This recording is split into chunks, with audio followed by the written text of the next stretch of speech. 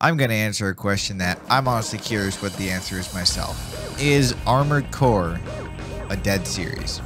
Now, the short answer is no, since there is a new game on the way, but the real answer is a bit more complicated. Allow me to explain by first going into the history of the series.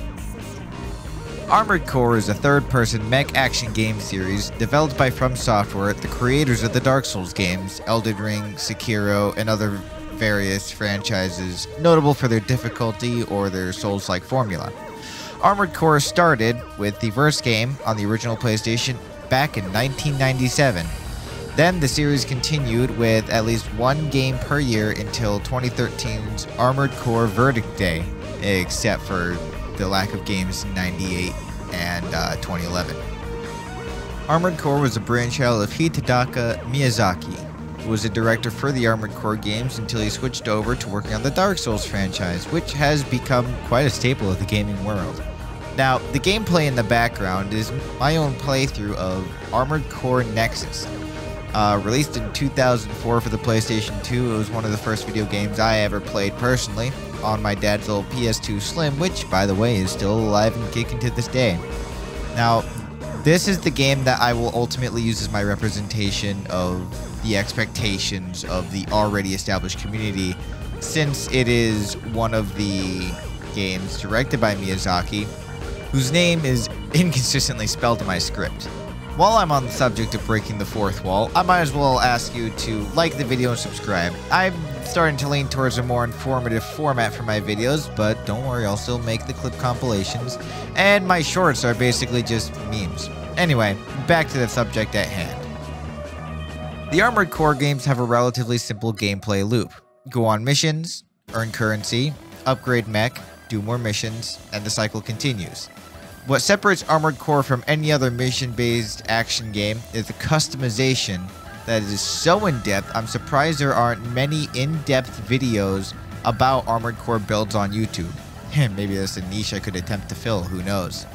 The customization is special because you can not only customize the aesthetic of your machine with the different colors and different paint patterns, each individual part serves its purpose in the ecosystem that is your system. You can choose all the individual parts down to the generator and the radiator, which you need to balance with the power draw of your mech. And you need legs that will support the weight of everything you have. The head of the mech has to have all the scanners and such that you need. And then there's a large arsenal of weapons. From handguns to shotguns to missile launchers to cluster missiles, that's a war crime. To vertical missiles to laser weapons. The customization in this game is so intense and set up so you can see the mission briefing and then you go and equip your mech accordingly to fit the mission to get through with the least amount of damage possible. Not to mention the soundtrack. I mean, listen to this futuristic piece.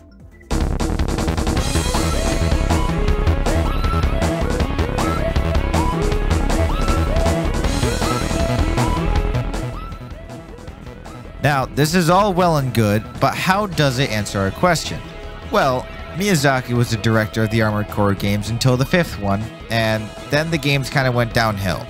They started focusing more on the multiplayer aspect in the story, which is all about, you know, companies hiring you as a mercenary against the other companies to become the most dominant company or political power in the area. The Armored Core customization got a lot better with the visual aspect, but the parts list got smaller and they simplified the building process, which kind of ruined the idea of, of making it complicated for the players to actually figure out everything the way the older games had it. Armored Core's difficulty really came not with the combat, but with the design of a mech that could get you through the individual combat situations. For instance, if you're at a large open area and you are going to have many of a certain enemy, then you can be like, oh, let me equip this vertical cluster missile. Or if you're going to be in tight corridors, you know, have a little a little DMR type weapon. And that was the magic of the game. You you weren't constrained to build your mech one way. You had to adapt your mech and your playstyle for the different situations that you would get yourself into. Now, for the whole answer for the question at the beginning. Whether Armored Core is dead or not will depend on this new game coming out, Armored Core 6. Armored Core has not had an installment in the series in nine years, so if this new Armored Core doesn't live up to expectations, then Armored Core is as good as dead. It would probably retain, for the most part, its loyal fan base for the old games, but new people wouldn't really be getting into the series, and From Software would have to declare a series a loss. But that's just speculation. Let me know in the comments what you think about the new Armored Core game, or at least what we've seen of it. Bye!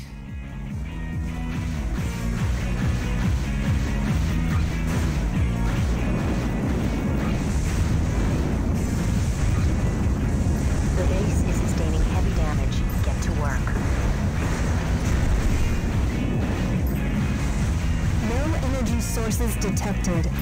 Area secured. Mission objective achieved. System switched to normal mode.